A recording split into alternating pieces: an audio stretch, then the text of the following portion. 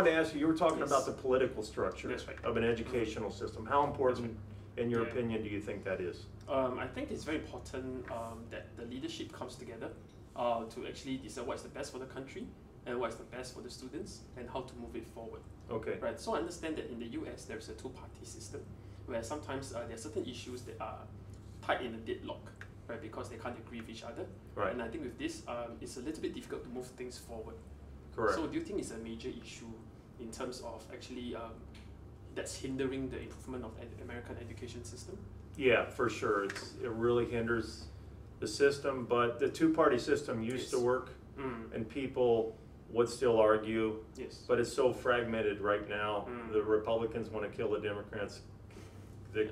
Democrats want to kill the Republicans. Yes. Nobody wants to give anybody credit for anything. That's right. And it seems Mhm. like the only time people come together is Yeah. in times of like, uh, things like wars. Yeah. In Singapore, is it a uh, one-party system? Um, it's um, okay in terms of the political leadership. It's mainly dominated by one party, uh, which we call the People's Action Party (PAP). So they've been in power um, since the founding of Singapore. Okay, um, and that's that's one of the reasons why the education system has been able to move forward. First, I think the political leadership, as in China, places a lot of emphasis on this education system, right? Because people are our main resources in Singapore. So if you look at Singapore, we're so small, we don't have any natural resources, Mm-hmm. right? Uh, it's because of a strategic position in terms of being uh, um, being a uh, at the beginning it was a port that we could actually receive a lot of ships in the world. And secondly, uh, the main resource now in the information economy will actually be our people. So um, our political leaders make it a very important point, right, to actually prepare our people, our younger citizens, right, for the workforce of tomorrow. So essentially, to us, it's basically about survival. Why do you right, think the culture in Singapore right. is so, so strong about the Yeah. importance of education? Okay. Um, I guess it's, it also has to do something with our Asian roots in the Mhm. sense that uh, the parents play a very in, uh, in, uh, active role in the development of the children, especially when all parents uh, want their kids to do well. So I guess this is where we are a little bit different from our Western counterparts in Mhm. the sense that I, I guess I mean correct me if I'm wrong, but if Westerners want the child to develop holistically to nurture their talents, Right. which itself is right in a way. Um, whereas um, for Asi- Asians, we are uh, we are more focused on success. So we try to actually get our uh, kids to actually have early head start, um, to actually hit the ground running. So Right. that's why uh, there's a lot of involvement of the parents, especially at early ages, Sure, to help the kids develop. right. But um, I guess one of the things we can improve on, upon, uh, improve upon, which we can learn from, I, I think, the Western countries, will be to, to actually also to nurture the talents of our kids. Maybe to take a more balanced approach. And I think that's why our education system has been evolving. Right. Take a look at that. But uh, I mean, I see a lot of those good things here because, for example, you know, we talk about the arts and music in the U.S., but right.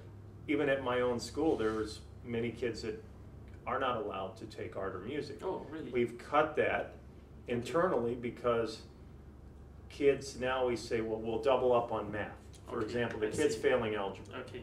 and he's probably two or three behinds in math. Okay. In math, but we'll tell him, no, you're going to have a high standard. You're going to do algebra. Okay. So he's he gets a D and an F in algebra, and Mhm. and so the next year, and letting and, and, and instead of giving them motivation and letting them do something or Yeah. her Yes. something that they want to do and they're Yes. probably good at, Yep. we'll take that away from them arbitrarily and we'll put them in another algebra, another math class. Okay. So he'll just hate it twice as much. Okay. And regularly, Mm. at least throughout California, Yes. uh, there are very few school districts that have art and music programs. Okay. They've cut I those see. things. I didn't see that here in Singapore. Okay. Uh, in fact, I saw where things like music and art were compulsory, Yep. and actually they're hiring more music and art teachers That's right. now. That's right. And, and so they're kind of moving from, to that holistic approach. That's right. So I personally see, what I see here in Singapore, unlike I've seen in any other Asian country that I Yes. visited, I was in Taiwan last week and Korea the other week, Okay. is you have kind of a culmination of the East and West That's right. That's right. merged here. So the best of both. Yeah. Got the hard work ethic, the early childhood Yes. start, good parent, strong parent values, Okay. and you know, uh, mixed with um, you know, the, the appreciation for like, I mean, I saw a fair amount of kids doing sports. Yes. I didn't see this in Korea. Okay. You yes. I think uh, it's important uh, in Singapore that we believe in giving our all our students a firm foundation in mount, uh, in different disciplines. Right. Maybe aesthetics, maybe maths and sciences, Mhm. maybe languages. Um, I think we've done pretty well in this aspect in giving kids really um, a good foundation in multi, uh, multiple disciplines. So uh, one key uh, strength of our system that I feel is that we are never contented with where we are. If you look, if you look, listen to the messages by our leaders, it's always, oh, we've done well, But we need to, we need, Yes. we can't stop, we That's need to right. look for, and That's that's what. I see in Singapore. Yes, that's right. That's, Right, that, that's the key strength that I determine that how we are always improving right, and we're always staying near the top. right, cause what works today may not work till That's tomorrow.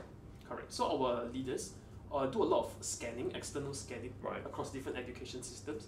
For example, Finland, the US, Right. and so uh, even China, right, to see what we can, what the gems. To that be fair, I'm not the best person to to ask ask because I've never been in a primary school. right, But uh, if you note, if you've been to the conference the last two days, you notice that we, uh, Singapore actually evolved from a series of ICT master plans. mhm, So uh, the first plan, uh, master plan one, one, was like actually about building the foundation in terms of facilities and so on and so forth. right.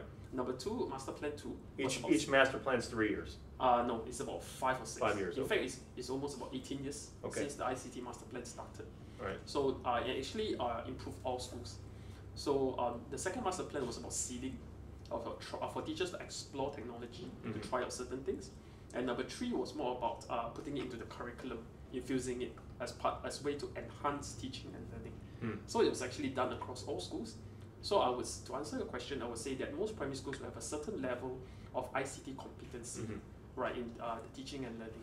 But I don't think Yes. Singapore sees this as the holy grail, That's that, right. that technology's gonna solve That's right. all that's the right. problems. That's right. Actually, um, we're using technology number one, I guess, to prepare the 21st century Mhm. uh, s- student or perhaps the worker of the future, right? Uh, again, back to the question of survival. So we always want to stay hit. We want to stay relevant. So we want to know what skills or competencies the employers of tomorrow will need, and therefore we try to actually uh, see how we can embed into the curriculum to Mhm. develop this kind of this kind of citizens of tomorrow. So I guess that's very important for But, us. but Yes. still, teacher drives the whole thing, right? The That's quality of the teacher, That's right. That's right. right? Yes. I So, don't, know- I yes. don't know if you know this, but in the US, Yes. um, fifty percent, at least fifty percent of the teachers Yes. regularly come from the bottom quartile to the Okay. bottom one-third. Okay. So there's see. huge difference in how teachers are chosen and, That's right. and the qualifications. That's right. And also, uh, the institutions in the US, you can, you can get a teaching credential almost anywhere. Okay. Everybody offers one, you can pretty much get one online. Okay. So you have a multitude of places, which means there's not a, there's not much quality control. Okay. There's no baseline standards. No baseline standards, where here, I think the, the institutions are, Okay. at least the way I understand it, Yeah. are much more regulated and, and, and there's a lot, there's a, there's a good baseline of where right. everybody needs to be, That's right. right, in terms of quality. I guess it also has a matter to do with size. In Right. terms of Singapore, because we are small, uh, Right. we only have uh, effectively one teacher training school. That's the National Institute of Education. Oh, it's, All teachers have to pass through that. So if you set the baseline standards there, it's actually all teachers will have a certain competency. mhm, But I guess in the US, because of uh, the decentralization, so many Mm. states get to control teacher quality and so on and so forth. Right. So there might be there might be no baseline standards.